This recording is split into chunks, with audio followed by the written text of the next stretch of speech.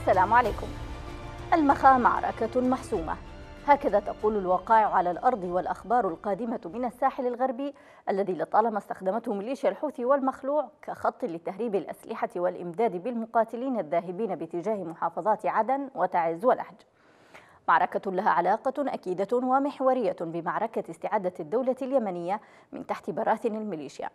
تحرير المخا وطرد الميليشيا من الساحل الغربي لا يصب في خدمة الحكومة الشرعية وحسب بل هو نقطة التقاء الأمن القومي اليمني بالأمن الإقليمي والدولي خصوصا مع قيام الميليشيا بتهديد الملاحة الدولية في الممر المائي الذي تمر فيه أكثر من 30% من حجم تجارة النفط في العالم.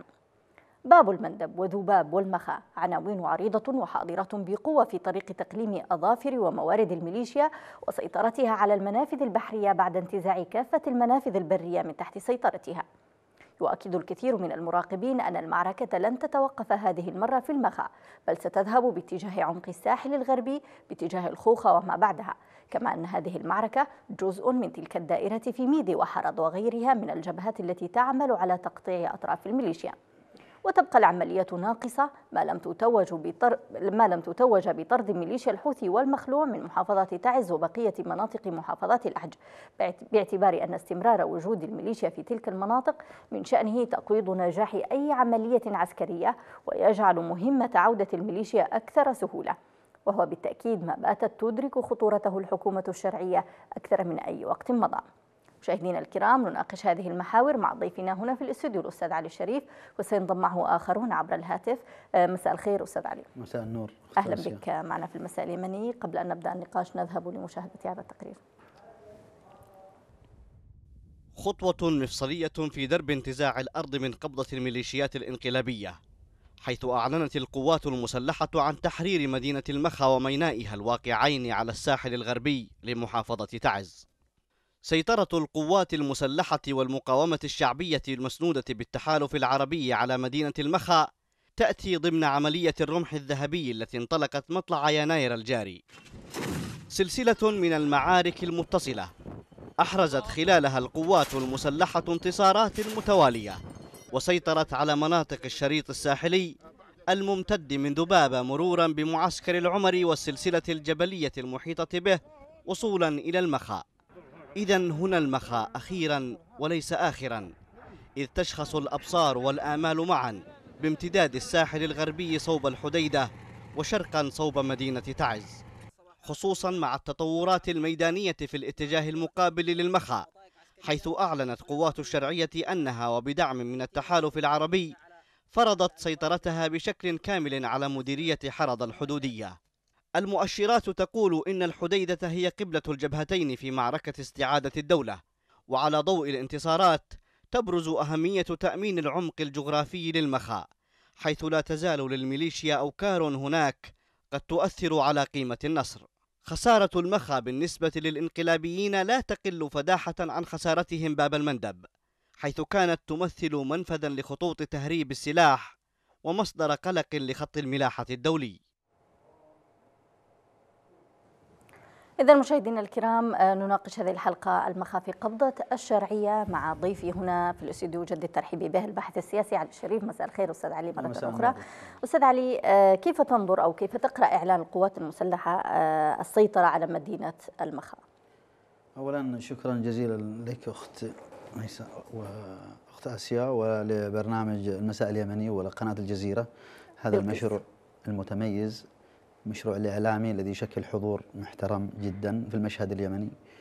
معركتنا اليوم هي معركة المعلومة الوصول إلى المعلومة الحقيقية إلى التحليل المنطقي الذي يزود به المواطن اليمني لمعرفته بما يدور. نخرج من عملية التيه والتضليل الذي تمارسه الميليشيات المسلحة في محاولة لاغتيال اليمن مرتين مرة بالسطو على مشروعه الوطني ومرة بتزوير وتضليل المواطن عن حقيقة ما يحدث. ما حدث في المخا يعتبر إنجاز كبير. إنجاز كبير يكتسب أهمية من جهتين. من جهة أن الحسم العسكري أمر مهم ولا يجب التعويل على أي حلول سياسية بعيدا عن الحسم العسكري لأننا أمام ميليشيات لا لا لا تمتلك أي وعي سياسي. لا تم ليس ليست مرتبطة حتى بمصالح المواطن لا يمكن الضغط عليها سياسيا لا يمكن الضغط عليها مدنيا آه، يعني قطعت أرزاق الناس معيشة الناس رواتب الناس وبالتالي أي شيء لا لا لا يجدي معها هي عبارة عن ميليشيات متمترسة خلف أسلحتها ولا آه، تلتفت لأي ضغوط ولا يمكن يعني ان أن يجدي معها أي ضغط سوى الضغط العسكري. ما هي أهمية أو الأهمية العسكرية برأيك لهذا الانتصار؟ هذا الانتصار يشكل أهمية باعتبار اولا أن أن أن المناطق الساحلية شكلت خلال المرحلة الماضية أهمية كبيرة بالنسبة للميليشيات كموارد وخطوط إمداد وتهريب للأسلحة النوعية. كانت هذه الميليشيات في البداية لا تمتلك أي أسلحة نوعية حتى بدأت في التفكير من خلال بعض مهربي الأسلحة ومن خلال آه، بعض الدول الإقليمية ممثلة بإيران تحديدا آه، بإيصال الدعم اللازم رغم الحصار المحكم على هذه الميليشيات. هذا الأمر مهم في عملية ميزان القوى وفي آه، في في عملية آه، ترجيح كفه المعركة. فهذا أمر يعني يعني خبر مفرح جدا. نهني فيه شعبنا ونهني فيه الحكومة والقوات المسلحة الجيش الوطني والمقاومة الشعبية على هذا الإنجاز العظيم. يعني هذا أمر الحقيقة آه، يشعرنا بالأمل. قد ربما أن البعض ينظر للأمور أن هناك بطء في عملية الحسم العسكري، لكن لو نظرنا يعني قليلا إلى الوراء نجد كانت كانت الميليشيات مكتسحة معظم أو كثير من جغرافيا اليمن وأصبحت اليوم محاصرة بشكل كبير من جميع الزوايا. تكاد تنحصر في مناطق محددة ممثلة يعني في المناطق الشمالية أو تحديدا صنعاء وعمران وصعده وهذه المناطق فهذا أمر يعني يكتسب أهمية كبيرة. آه، آه، نعم. في نرى, نرى أيضا أنه آه، يعني عملا عملا مدروسا. بطيئا ولكنه يعني باتجاه تقليص نفوذ هذه الميليشيات. نعم هذه ربما الأهمية العسكرية. ما الذي يعكسه تحرير المخا سياسيا؟ هذا طبعا أمر هذا سؤال طبعا مهم للغاية لأن المحصلة النهائية للعمل العسكري يفترض أن تنعكس في العمل السياسي. العمل السياسي يستفيد بلا شك هذا المو... هذا هذا هذا الحسم وهذا الإنجاز العسكري يقوي موقف الشرعية وتمسكها بعملية استعادة الدولة و... و... وفكفكة هذه الميليشيات وسحب الأسلحة منها هذا هذه الخيارات التي آه، ظلت وستستمر آه، مطروحة على المشهد السياسي نعم. ولا يمكن التراجع عنها، لا يمكن التنازل عنها مطلقا لا حل أمام المشكلة اليمنية إلا بالمرجعيات التسوية السياسية بالقرارات الدولية بالاتفاقات التي التي آه، أنجزها اليمنيون. آه، سحب أسلحة هذه الميليشيات آه، إعادة وبسط نفوذ الدولة بشكل كامل لأنه لا يمكن الوصول إلى تسوية سياسية مطلقا من أي نوع مع هذه الميليشيات. يعني هذا الأمر آه، يعتبر امرا نعم. محسوما نعم. اذا آه، أستاذ علي آه، ينضم معنا عبر الهاتف لننقل يعني الساده المشاهدين وأنفسنا أيضا إلى قلب المعركة مع اللواء أحمد سيف اليافعي نائب رئيس هيئة الإركان من المخا مساء الخير سيادة اللواء. يا مساء النور يا مرحبا أهلا وسهلا. أهلا بك سيادة اللواء. يعني بدايه ضعنا في تفاصيل معركة المخا قبل كل شيء أود أن أشكر محطة تلفون بلغيس على هذه التغطية الطيبة. وفي الحقيقة آه، معركة المخا كانت عبارة عن آه، أولا انتظار لأن الدول عاصفة الحزم والحكومة الشرعية كانت تنتظر أن تخرج اليمن من الحرب بالمفاوضات وأنه طاولة المفاوضات هي الأساس دون أن يعيش اليمن حالة من الحرب أكثر من الحالة اللي عايش فيها. نعم. ومن وعود إلى اتفاقات إلى آه، محادثة الكويت. فهمت الشرعية ودول التحالف والشعب اليمني من الحوثيين والإنقلابيين يماطلون لقرض واضح ومعلوم هو إن ما اكتسبوه بالقوة يجب أن يتمسكوا فيه. وأدخلوا الشعب اليمني في حرب همجية وقتال لا معنى له. وبالتالي بدأ التفكير في إجراء عملية كبيرة على مستوى الجمهورية كلها يعني تبدأ من المندب ثم تليها بعض العمليات الموجودة من اتجاه تعز وعملية كبيرة من اتجاه ميدي ثم عمليات أخرى من اتجاه صرواح واتجاه البيضاء وكانت البداية آه، لعملية المندب آه، ذباب آه، المخاء.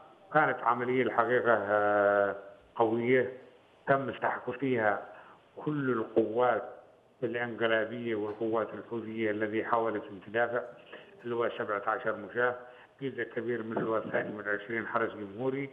كما تم تدمير لواء صواريخ أرض سطح الذي آه، بواسطة صواريخه تم الاعتداء على سفينة النقل الإماراتية آه، النقل اللوجستي الإماراتية. وأيضا تم تهديد الملاحة الدولية بإطلاق صاروخين صاروخين. على سفن عسكرية أمريكية تتبع الاسطول الأمريكي العامل في المحيط الهندي وبحر العرب. نعم. الحقيقة العملية كانت ناجحة وقادتها مجموعة من من العراقيل المتمثلة في حقول الألغام الواسعة وأيضا المتمثله في آه، قواعد الحرب.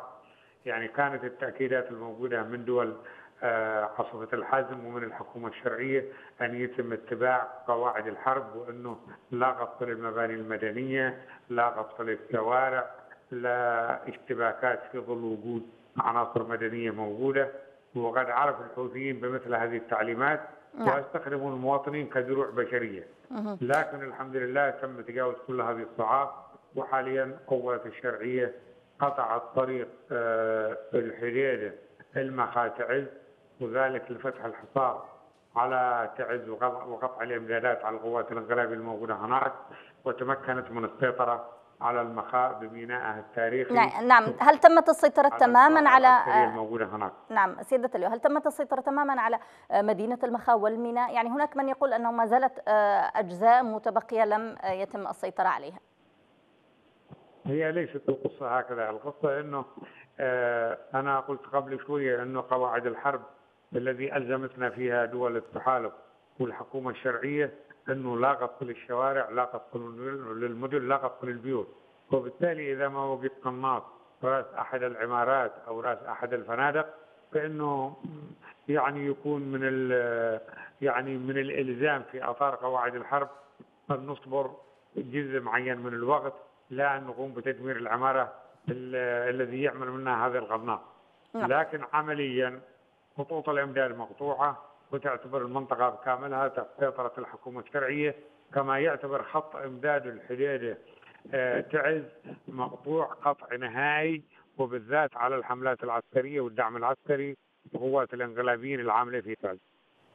نعم آه، سيادة اللواء يعني آه، هناك من آه، يعني أو حدثنا عن خطواتكم القادمة يعني وما مدى تأمينكم لهذه المناطق المحررة خاصة يعني خشية الالتفاف والعودة عودة الميليشيا إليها خاصة مع وجود قناصة في بعض المباني وأنتم حريصون على عدم المساس بأي جهات مدنية مهما يعني كان فيها قناصة كما تفضلت. اولا يعني من حيث القواعد لا توجد إمكانية أن يقوم الانقلابيين بالالتفاف لأنه هذا يعتبر من من تاسع المستحيلات إذا ما قلنا يعني إنهم يقوموا بالالتفاف كون الطريق مقطوعة. الناحية الثانية خطوتنا القادمة لا تتمثل بالحفاظ على هذه المناطق، خطوتنا القادمة تتمثل بالاتجاه باتجاه ميناء الحديده واللقاء مع جبهة ميدي وفقا للخطه المزمنة المعدة من قبل قوات التحالف والحكومة الشرعية وحرمان الإنقلابيين من استخدام مياه شواطئ البحر الأحمر لتهريب الأسلحة وفي نفس الوقت للاعتداء على خطوط الملاحة الدولية. وأحد الخطوات أيضا هو آه، تقديم الدعم الكبير لجبهة المقاومة من الجيش الوطني والمقاومة في تعز لضرب آه، اتجاهات الإنقلابيين الموجودة من اتجاه المخاء وبالتالي آه، فتح الحصار على تعز لتحرير محافظة تعز الذي ترزح تحت الاحتلال لفترة كبيرة ويمارس عليها الضغط ويمارس نعم. عليها الحصار يعني بصورة لا أخلاقية وبصورة لا تتسم الطابع والطابع الشعبي باعتبارنا دولة وباعتبارنا شعب واحد نعم. سيدة اللواء آه، سؤال أخير آه، إن سمحت لي. يعني آه، بعد هذه الانتصارات وتحرير يعني مدينة المخا كيف سينعكس ذلك على قوات الميليشيا التي ما زالت موجودة في الوازعية ومقبنة وتعد الآن محاصرة؟ هل هل يعني صحيح أنها الآن محاصرة؟ كيف يمكن التعامل معها؟ سيتم التعامل معها يعني بصورة هي الذي تختارها. يا الانسحاب. يا الاستسلام أو التدمير لا مفر من أحد هذه الطرق الذي سيتم التعامل فيها وسيبدأ هذا العمل من الليلة هذا يعني بالتأكيد من نهاية من نهاية اليوم. نعم. إذا شكرا جزيلا لك سيادة اللواء أحمد سيف اليافعي نائب رئيس هيئة الأركان كنت معنا عبر الهاتف من المخا عودة إليك آه، أستاذ علي. يعني تحدث سيادة اللواء آه، عن العديد من النقاط ولكن دعنا نتوقف عند مسألة قواعد الحرب التي تحدث عنها والتي يعني هم ملزمين بتنفيذها من قبل قوات التحالف ومن قبل أيضا الحكومة. يعني عدم المساس بالمباني المدنية عدم الهجوم على أي منطقة يتواجد فيها السكان. نلاحظ أيضا الفرق في تعامل الميليشيا في آه، الجهة الأخرى آه، القصف آه، غير يعني الممنهج ضد المدنيين. كلما يعني أصابهم شيء ذهبوا بالقصف تجاه القرى والمدن السكنية. طبعا هذا يعني التزام رائع جدا ويظهر طبعا عدالة قضيتنا يظهر مسؤولية الحكومة الشرعية والجيش الوطني والتحالف العربي. أرواح المدنيين أمر مهم للغاية. آه، يجب تجنيبهم يعني يكفي اليمنيين والمدنيين بالذات ما وصلوا ما يعني ما ما نالهم وما آه، يعني طالهم من هذه الميليشيات من قصف من حصار ممنهج آه، هذا العمل طبعا يحسب لقوات التحالف وللجيش الوطني نتمنى أنه يعني يستمر هذا الموضوع. نعم، كنت آه، قبل التواصل آه، اللواء أحمد سيف اليافعي نتحدث عن الخيارات السياسية والتي أنت وجدت أنها مغلقة خاصة في التعامل مع الميليشيا مع الميليشيا، هو طرح في بداية حديثه انه بعد يأس من طاولة المفاوضات، بعد الوعود المتكررة بالحلول السياسية، يعني بعد التأكد التام بأن الميليشيا لا وعد لها آه، ولا آه، اتفاقات تم التحرك آه، بهذه الصورة. نحو تحرير أكثر يعني يعني أو يعني جهات أكثر تسيطر عليها الميليشيا. هل فعلا وصلنا إلى باب مسدود في الحلول السياسية؟ وماذا عن يعني التحركات السياسية التي طرأت مؤخرا؟ هل ستؤثر على سير المعارك بهذه الصورة؟ أنا سأكون واضح في هذا الموضوع. هناك يعني محاولات من بعض الأطراف الدولية لفرض واقع معين لمحاولة التحكم في مسارات المعركة آه، محاولة إبقاء الميليشيات على آه، درجة من الحضور والتواجد. آه، صحيح أنه الجانب النظري في الجانب الدولي والشرعية الدولية يعني هو ضد الانقلابيين ومع الشرعية. إنما الحكومة الشرعية وأنا أعتقد أنها تدرك هذا الموضوع وليست يعني لا تجهل هذا الأمر مطلقا. هو أنه مهما كانت قضيتنا عادلة ومهما كانت لدينا من مشروعية ومن شرعية دولية إلا أنه لا يمكن بأي حال من الأحوال أن تسلم هذه الميليشيات طوعا وأن يتم حسب حل القضية بشكل سياسي محض.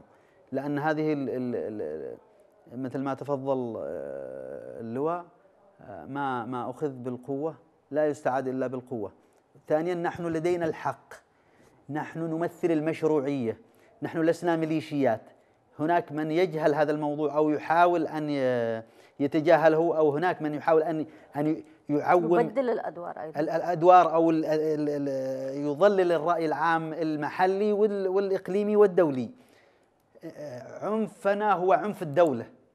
هو يعني عنف السلطة الشرعية بعد التي تمثل إرادة اليمنيين وتمثل التوافق الوطني وتمثل مخرجات الحوار الوطني وتمثل حتى الشرعية الدولية التي تم الانقضاض عليها وتم إجهاضها وتم اغتيالها من قبل هذه الميليشيات التي لا تمتلك أي مشروعية نعم. وبالتالي أنا أقول أنه لا يمكن حسم لا يمكن التقدم سياسيا ولا يمكن أيضا آه، يعني آه، الانتظار من الجانب الدولي أن يقوم نيابة عنا بعملية آه، فكفكة هذه الميليشيات أو يعني إيقافها يعني بالقوة هذه مهمة الدولة الشرعية مهمة الجيش الوطني نعم. مهمة المقاومة الوطنية وقد أثبت اليمنيين ذلك وهم في طريقهم أنا هذه قناعتي وأحمل يعني أمل كبير بهذا الاتجاه آه، أن أن المستقبل بإذن الله آه، في في في في اتجاه بسط نفوذ الدولة وفرض خيارات اليمنيين و يعني استعادة الدولة ومؤسساتها وسحب يعني سلاح الميليشيات. لا يمكن لا يمكن بأي حال من الأحوال أن يكون هناك كيان موازي أن تكون هناك آه، ميليشيات مسلحة تضع رأسها برأس السلطة الشرعية. هذه ليست دولة ولا يمكن أن تكون ولا يمكن القبول بها. نعم اذا آه، أستاذ علي يعني في مسألة يعني تحدث أيضا اللواء عن عملية ميدي وأن هناك يعني تقدم نحو الساحل الغربي ربما هذه هي الخطوة آه، القادمة آه، بتحرير كل هذه المناطق وأيضا نلاحظ أنه متى ما كان هناك نية لتحرير أجزاء معينة أو مناطق معينة فإن الأمر يسير بتراتبية سريعة وبخطط مدروسة. آه، في ظل هذا التحرير المتواصل هل يمكن أن يعني تخضع آه، الميليشيا آه، أو تعود للمطالبة بالحلول السياسية؟ ولا تنسى أن المجتمع الدولي يعني يظهر أنه مع الحلول السياسية وربما يعيد اللعب بهذه طبعاً. الورقة مرة أخرى. طبعا دائما عندما تصبح الميليشيات في مأزق تظهر ورقة العودة إلى التفاوض ووقف إطلاق النار. هذا هذه عملية طبعا متكررة وملموسة ومحسوسة من جميع المتابعين والمراقبين للشأن اليمني. آه، طبعا آه، ممكن. هذا الأمر وارد بشكل كبير آه، أن أن يطالبوا بعملية الحلول السياسية لكنهم ليسوا جادين. هم في الأخير يستخدموا هذا الموضوع كنوع من التكتيك من أجل استعادة أوراقهم من أجل ترتيب أنفسهم من أجل يعني محاولة إيجاد اختراق ما أو يعني إحراز تقدم معين في أي جبهة من الجبهات ولا يمكن بأي حال من الأحوال أن يكونوا جادين ولا صادقين يعني من التجربة يعني آه، شاهدة على ذلك. إذا آه، يعني هناك خبراء عسكريون يقولون أنه في حال تحرير الساحل الغربي بالكامل آه، فإن الميليشيا يعني تكون بحكم السقوط في صنعاء وما حولها هل تتفق مع هذا الطرح؟ أنا أتفق إلى حد كبير. بأن هذه المناطق تشكل أهمية استراتيجية من ناحية إمداد هذه الميليشيات بالحياة وبالدعم وبالمساندة وهذا سيضعفها بشكل كبير لكن الأمر لا لا لا يقتصر على يعني صحيح أنه سيضعفها لكن لا يعني ذلك أنها ست تتنازل يعني. لا أنها أنها ستتلاشى تلقائيا بعد تحرير السواحل أو منع الدعم لأنها ما زالت تمتلك يعني مخزون أسلحة يعني في معسكرات يعني صواريخ يعني صواريخ الكاتيوشا والصواريخ البالستية لم تتوقف من قبل هذه الميليشيات. آه، سيحتاج الأمر إلى وقت وبالتالي لابد أن أن تتبع هذه الاستراتيجية استراتيجية تحرير السواحل وقطع خطوط الإمداد. آه، إحداث اختراقات آه، في في جبهات تشكل أهمية بالنسبة لهذه الميليشيات ومحاولة كسرها ودحرها في هذه المناطق باتجاه القضاء عليها واستعادة الدولة وإلا فإن الأمر قد يمتد يعني لفترات يعني طويلة ولن يكون هذا الأمر في صالح المواطن البسيط ولا في صالح القضية نفسها. اذا اسمح لنا أستاذ علي الشريف انت والساده المشاهدين أن نذهب لهذا الفاصل القصير ثم نعود إليكم.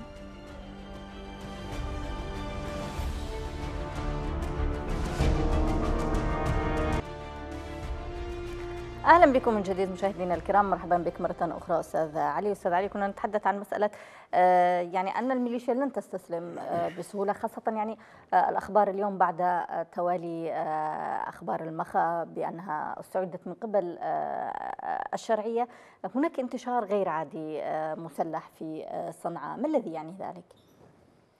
طبعا سيكون سيحاولون القيام بأي عمل يجب أن نتوقع هذا الموضوع. لمحاولة استعادة هيبتهم لمحاولة استعادة المعنويات في أوساط آه، أتباعهم لأن ما حدث في المخاء ليس أمرا هينا في واقعه يعني من ناحية المعنويات على هذه الميليشيات. فطبيعي أنه يكون هناك يعني احتشاد ومع عملية تعبئة ومحاولة استعراض وكذا. لكن أعتقد أن الأمر لن لن لن لن يفيد. ال ال ال الأمور تسير باتجاه حصار هذه الميليشيات والقضاء عليها ونعمل أن يكون ذلك قريب. نعم آه، اذا آه، أستاذ علي الكثير يقولون أيضا أن المخا هي منفذ استراتيجي آه، وهذا يعني ما هو ملحوظ بالنسبة للانقلابيين لتهريب السلاح والممنوعات. ما الذي يشكل سقوط المخا بالنسبة للمخلوع والحوثيين؟ يعني ما الجانب الذي سيضعف أو الذي سيكون يعني هو نقطة ضعف هذه الميليشيا باستعادة المخا؟ أو اولا من ناحية قطع خطوط الإمداد على هذه الميليشيات. هذا جانب، الجانب الآخر السواحل والمناطق الممرات المائية هذه تكتسب أيضا نقطة تلاقي مثل ما تفضلتم في التقرير بين الأمن القومي اليمني والأمن القومي الإقليمي والعربي والدولي حتى لأن هذه ممرات دولية إذا إذا أصبحوا إذا كانوا متحكمين فيها هذا الأمر حتى ينعكس على الوضع السياسي على رفع درجة التفاوض وورقة التفاوض وقوتهم التفاوضية حتى لدى الجانب الدولي. لكن هذا الموضوع يضعفهم بشكل كبير أنه تم تقليم أظافرهم وتقليص نفوذهم في المناطق الحساسة والمهمة. هذا الموضوع ينعكس على إضعافهم سياسيا. وبالتالي يعني ما تم تحقيقه في هذه المنطقة يعتبر إنجاز كبير لصالح استعادة الدولة. كيف يمكن الحديث عن مدى انعكاس هذا التحرير على آه، الأهمية الاستراتيجية آه، للمعركة بالنسبة لتعز وكمية أيضا آه، العتاد العسكري الذي كان يتوجه للميليشيا من هذه النقطة لمواجهة تعز؟ طبعا نامل نأمل انه إن يكون هذا مفتاح لرفع الحصار عن تعز لبذل جهود. أيضا أيضا يعني على قدر ما هذه المنطقة تشكل بتشكل يعني يعني هذه هذه الخطوة قطع إمداد لهذه الميليشيات سيشكل الأمر أيضا إمداد للجيش الوطني وللمقاومة الملتصقة. من ناحيه الجغرافيا السياسيه بتعز وبالتالي سيعطي سيمنحها قوة بشكل أكبر. نأمل أن يكون يعني خلاص تعز من هذا الكابوس ومن هذا الحصار يعني هو الخطوة التالية بعد هذه الخطوات. والساحل الغربي أيضا مهم جدا يعني مواصلة هذا الأمر فيه. هذه هذه قضية مهمة واستراتيجية. نعم إذا أستاذ علي يعني هناك تساؤل يعني خلال عامين. آه، يتم تهريب الأسلحة للانقلابيين من هذا المنفذ البحري آه، التحالف يسيطر على المياه الإقليمية كما يفترض شرعية مسيطرة على المنافذ البرية. كيف يتم ذلك؟ كيف يمكن السماح آه، بوجود هذا التهريب على رغم يعني أنها منطقة مكشوفة تعد لطيران التحالف؟ الأمر ليس بهذا يعني في كل الأحوال ستبقى هناك ثغرات. آه، السواحل اليمنية سواحل ممتدة بشكل كبير. أيضا هناك آه، مهربين مهرة وهناك آه، أيضا بعض لا نريد أن نقول يعني تواطؤ من بعض الأطراف الإقليمية أو محاولة يعني التعاون والدعم اللوجستي لهذه الميليشيات يعني موجود وهذا يشكل اختراقات. يعني لا شك إنه الحصار يصعب عليهم المهمة. يعني لن يكون الأمر سهل مثل ما تكون المناطق مفتوحة. لكن يظل يعني على امتداد آلاف الكيلومترات هناك هناك دائما يعني اختراقات هناك مجال للتهريب بشكل أو بآخر وبطرق متعددة. هذا أمر يعني وارد وبشكل كبير وحتى يعني في المستقبل ممكن أن يظل واردا. نعم أستاذ علي يعني بعد إغلاق المنافذ البرية وربما آه، بالمخا أيضا إغلاق المنفذ البحري، هل يمكن يعني التأكد آه، من عدم تهريب الأسلحة مرة أخرى خاصة يعني وما تم عرضه في الفيديوهات أن هناك أسلحة آه، روسية الصنع إيرانية يفترض. الصنع يعني هل يمكن أن نثق تماما بإغلاق هذه الموارد؟ يفترض طبعا أنه في هذه المنطقة تكون منطقة مغلقة. أي أي تهريب في المستقبل من هذه المنطقة سيعتبر كارثة كبيرة نعم. ومسؤولية كبيرة يعني هذه مسؤولية الجيش الوطني والمقاومة ومسؤولية التحالف العربي يعني لا يمكن لا يمكن ابدا أن يكون هذا الأمر طبيعيا أو القبول به مطلقا. نعم، اذا اسمح لنا أن ينضم معنا في هذا الحوار الأستاذ باسم الشعبي رئيس مركز مسارات للدراسات الاستراتيجية من عدن، مساء الخير أستاذ باسم. أهلا وسهلا مساء النور. أهلا بك معنا أستاذ باسم، برأيك ما هي الأهمية الاستراتيجية للانتصارات التي حققها الجيش الوطني والمقاومة؟ آه، لمعركة المخا والانتصار في المخا أهمية استراتيجية كبيرة آه، جدا للجيش الوطني والمقاومة الشعبية والتحالف العربي وأيضا الشرعية اليمنية لهذا الانتصار أبعاد سياسية وعسكرية كبيرة جدا على المستوى السياسي. يعطي هذا الانتصار الشرعية اليمنية ورقة سياسية كبيرة جدا للمناورة وتحقيق مكاسب سياسية. وأيضا يرفع إن يعني يعني حضورها على المستوى الإقليمي والدولي، فيما يتعلق بالمكاسب العسكرية هناك مكاسب عسكرية عديدة من هذا الانتصار الذي تحقق منها تأمين خط الملاحة الدولي عدن باب المندب البحر الأحمر وأيضا منع تهريب السلاح لجماعة الحوثي والرئيس المخلوع علي عبد الله في تعز والحديده وأيضا تأمين العاصمة المؤقتة عدن وأيضا تهيئة الفرصة بشكل كبير جدا لتحرير تعز والاستكمال تحرير الساحل الغربي وصولا إلى الحديده. نعم أستاذ باسم يعني هناك من يقول أن القوات المسلحة تتقدم آه، في الساحل بينما الجبال الخلفية والتي هي آه، محاذية للساحل لا تزال تتواجد فيها الميليشيا ما صحة مثل هذا الكلام وما مدى خطورته آه، إن صح؟ والله لم أسمع السؤال بشكل واضح. آه، ممكن تعيد السؤال؟ نعم آه، أعيد لك السؤال. يعني هناك من يتحدث أستاذ باسم بأن يعني آه، القوات الشرعية تذهب في تحرير الساحل الجنوبي ولكن الجبال المحاذية لهذا الغربي عفوا ولكن الجبال المحاذية لهذا الساحل. ما تزال هناك يعني قوات من الميليشيا متمترسة في هذه الجبال. ما صحه مثل هذه الأخبار؟ ويعني ما نعم مدى خطورته؟ ربما إذا نعم إذا كان هناك من فلول من فلول آه، يعني لجماعة الحوثي والرئيس المخلوع علي عبد الله صالح في آه، هذا الجبال الممتده من دباب آه، وحتى إلى الوازعية. أعتقد هي عبارة عن فلول سوف تندحر بشكل كبير جدا عندما يتم السيطرة على ميناء المخا ومدينة المخا وهي المنطقة التي تتزود منها منها جماعة الحوثي والرئيس المخلوع علي عبد الله صالح المتواجدة في الساحل الغربي بالمؤن الغذائية وبالسلاح وبالمحروقات، السيطرة على المخا في الحقيقة سوف يفقد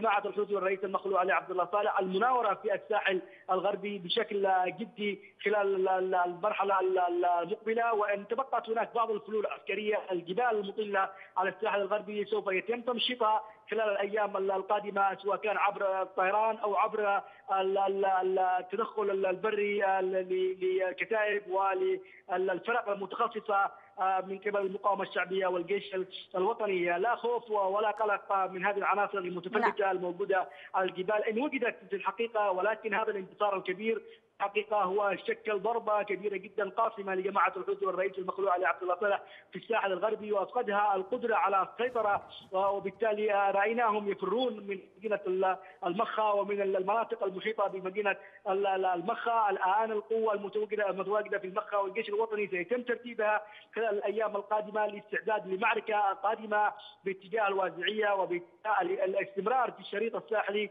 وصولا إلى الخوخة ومن ثم إلى الحديدة وأيضا الاتجاه صوب محافظة تعز نعم هل يمكن لنا القول أن يد إيران الممتدة بالسلاح للميليشيا قد بترت أو قطعت؟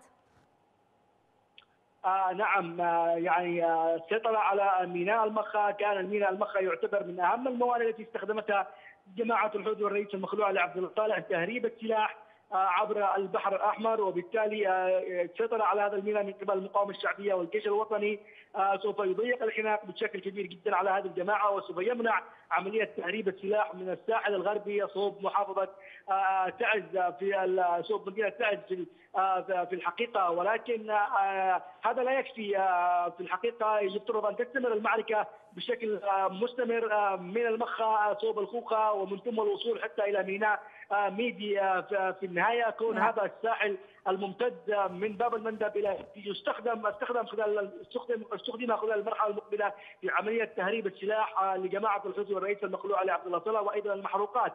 السيطرة على ميناء وصولنا إلى المخا هو قطع نصف المسافة مسافة المعركة وقطع نصف الطريق التي كانت تستخدمها جماعة الحوثي والرئيس المخلوع علي عبد في عملية التهريب وتبقى معنا مشوار أيضا إلى الحديدة ومن ثم إلى ميدي السيطرة على هذا الساحل الغربي بالكامل سوف يؤدي نعم. الحقيقة إلى تضييق الخناق على جماعة الحوثي بشكل كبير جدا. وما مدى تأثير هذا التحرير أستاذ باسم على المشاورات السياسية والمفاوضات بالنسبة للحكومة الشرعية؟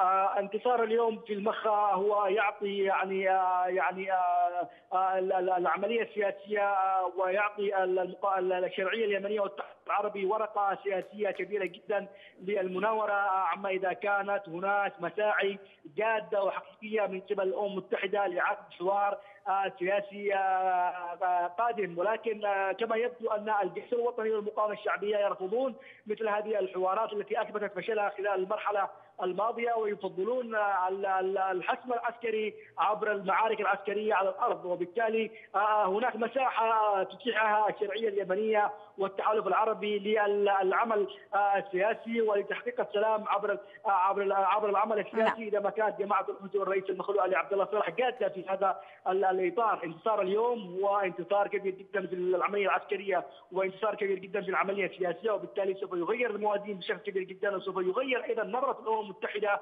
ومن خلفها أمريكا للشرعية اليمنية والمقاومة الشعبية والجيش الوطني. نعم أستاذ باسم هناك قوات آه، يعني من محافظات آه، جنوب الوطن تشارك آه، في تحرير أجزاء من آه، شماله. ما قيمة هذه المشاركة وأهميتها آه، على آه، يعني صعيد أو على الصعيد الوطني؟ آه نعم. هذا يدلل على أن الجسد الوطني اليمني بدأ في التعافي بشكل كبير آه جدا بعد ما حدث من 90 آه، آه، ال- ال- الحرب المدمرة التي حدثت في 94 والتي يعني تمزيق النسيج الاجتماعي اليمني وتشجيع الاجتماعي الان الجسد اليمني يتعافى وأبناء الجنوب ينطلقون من عدن آه، المخا وقريبا سيكونون في تعز وهم متواجدون في صعدة وفي البقع وفي أكثر المنطقة الشمالية لجانب إخوانهم من أبناء المحافظة الشمالية ضد هذا الانقلاب. ال- ال- ال- الكهنوتي الذي يريد أن يعيد اليمن إلى الوراء عقودا آه، مظلمة وفي الحقيقة يعني آه، هذا ال- ال- ال- ال- التوجه وهذا المعطى الجديد الذي آه، تسجله هذه المعركة الوطنية بامتياز التي اختلطت فيها دماء كل اليمنيين ضد هذا الانقلاب وضد هذا ال- ال- ال- الجرم الكبير الذي ارتكب من قبل الانقلابيين هو يؤكد بأن ال- ال- المشروع الوطني اليمني نعم.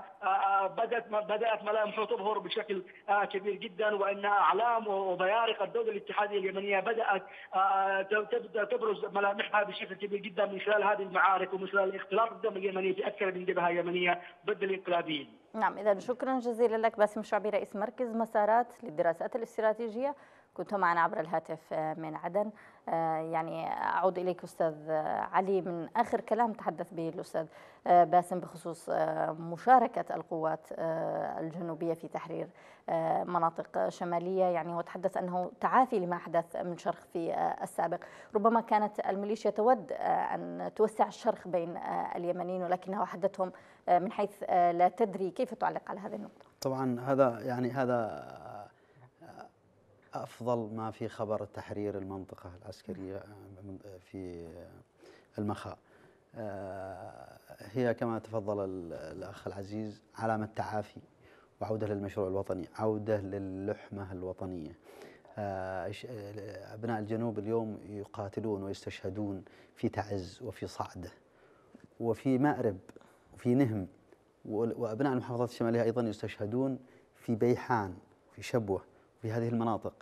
هذا يدل على أن اليمنيين في الأخير هم يعني مصير واحد مشروع وطني واحد وأن الكارثة الأساسية كانت هي في هذه الميليشيات ميليشيات المخلوع علي عبد الله صالح وميليشيات الحوثي الإمامية التي تحاول أن تمزق النسيج الاجتماعي تحاول أن هي التي فرضت في حقيقة الأمر هذا الانفصال الانفصال على الصعيد النفسي والجغرافي ويعني بسبب ممارستها طيلة المرحلة الماضية وبعدها وخلال مرحلة الحرب وما أحدثته يعني من من من شرخ إلا أن اليمنيين يثبتون أنهم على مستوى التحدي.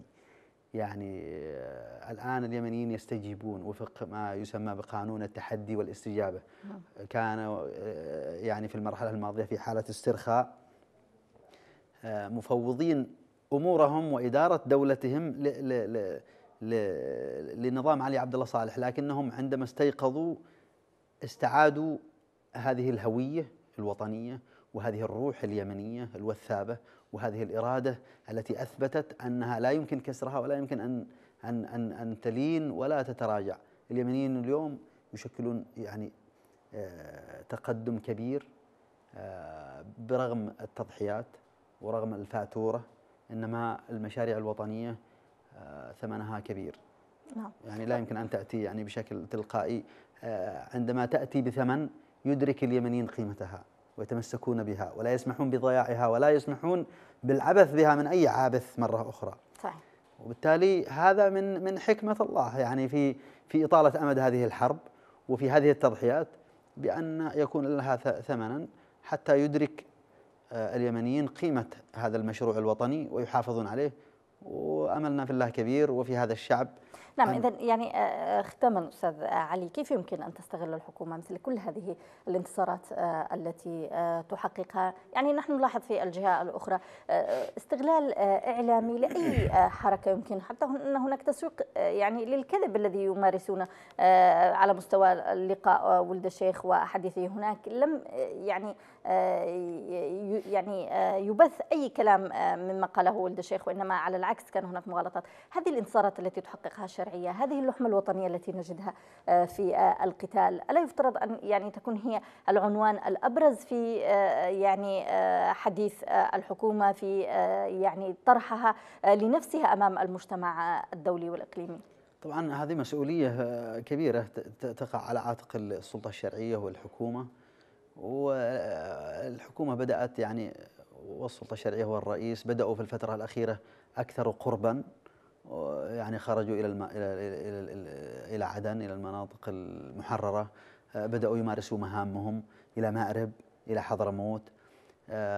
بدأوا يعني يقتربون من المواطن من حل مشاكله المعيشية والاقتصادية الخدماتية. لكن الأمور يعني تحتاج إلى بعض الوقت. آه، لا تحتاج إلى السرعة أكثر وليس إلى يعني أن طبعا طبعا عملية البناء أن تضيع في دهاليز الوقت عملية البناء عملية شاقة أكثر من من من عملية الهدم كما يقال يعني. الحروب يعني ممكن أن تحقق يعني الدمار بكل سهولة لكن إعادة الحياة مرة أخرى. نحن مشروعنا مشروع في السلطة الشرعية مشروع حياة مشروع بناء مشروع سلام. حتى ونحن نخوض الحرب.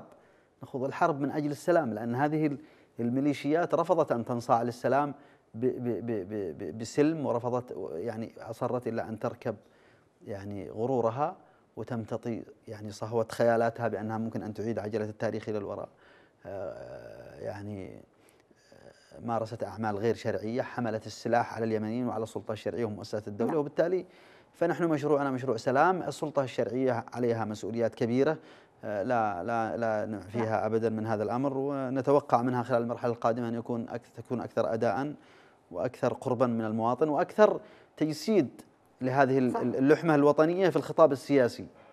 نعم إذا شكرا جزيلا لك أستاذ علي الشريف الباحث السياسي كنت معنا آه، في المساء اليمني لهذه الليلة. شكرا, شكرا لكم مشاهدينا الكرام لحسن متابعتكم. لأن ألتقيكم في مساء يمني جديد. كونوا برعاية الله وأمنه.